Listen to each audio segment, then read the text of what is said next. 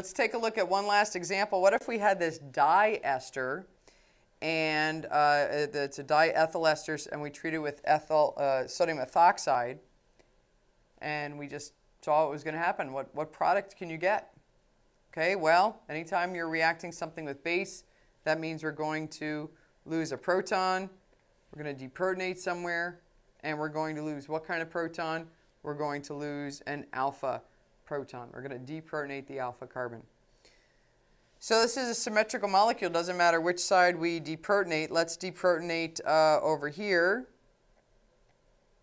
We could do that. Okay, there's our alpha carbon. That's our nucleophile.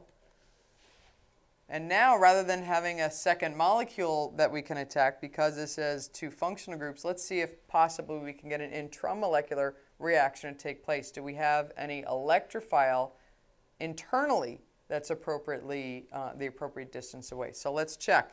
If this is um, our first carbon, this is one, two, three, four, five atoms away from a carbonyl, which is electrophilic. So would, would a, forming a five-membered ring be a favorable ring to form?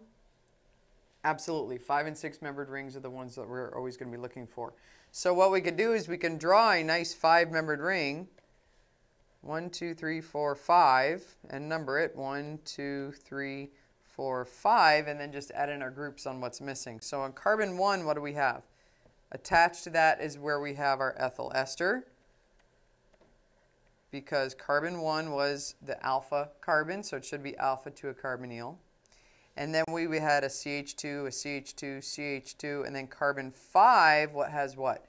It has the new bond to carbon 1, of course. Here we can we can we can show it as a, as the bond that we're imagining forming. So it has the new bond to carbon 1. And what else does carbon 5 has, have? It has an O ethyl and it has an O minus. So that's what we would get as one of our intermediates after we deprotonated and attacked. Right, we can imagine this attacking and breaking the pi bond up. And where do we go from here? Well, this looks like a charged tetrahedral intermediate. And so we're going to uh, have this collapse with our two arrows. Our O minus comes down, kicks off our leaving group.